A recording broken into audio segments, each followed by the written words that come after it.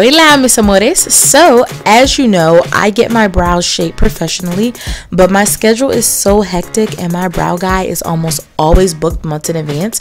So, here is a quick DIY where I show you how I safely clean up and tint my brows at home when I'm in between appointments with my brow technician. The first thing that I do is clean up my brows. I just simply use Nair facial hair remover to outline my brows like I would with concealer. Just being careful to not get the Nair on on any hair I don't want to remove. Then I just sit for 10 minutes and wipe the product off. This method allows me to see exactly what hairs will be removed and how my shape will look beforehand. So please do a patch test before fully applying to make sure your skin doesn't react badly, especially if you have eczema like myself.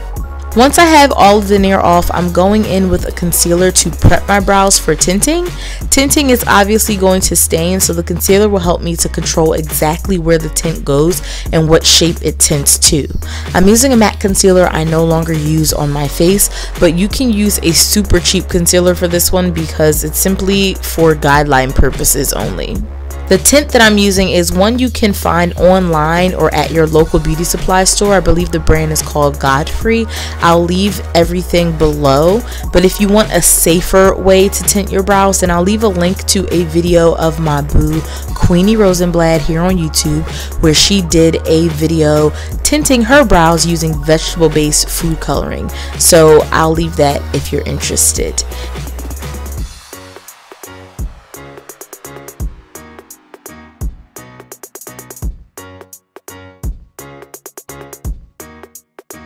In a small mixing bowl or palette, you want to break the clear capsule that contains the tinting powder.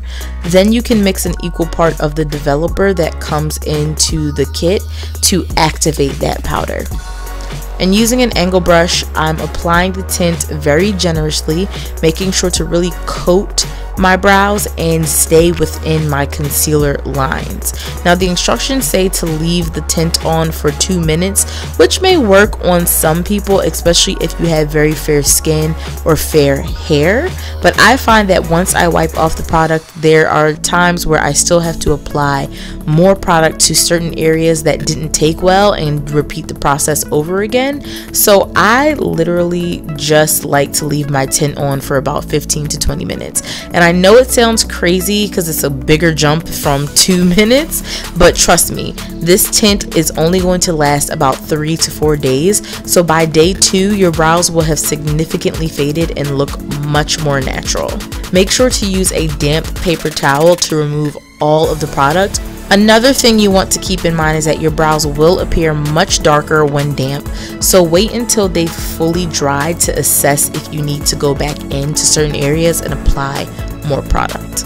And that's pretty much it guys. This is something I love to do between my brow appointments to keep my brows looking fresh and it's just nice to not have to worry about filling in your brows for a few days. Let me know if you try this out and how you like it. Until my next video, I will talk to you guys later. Bye.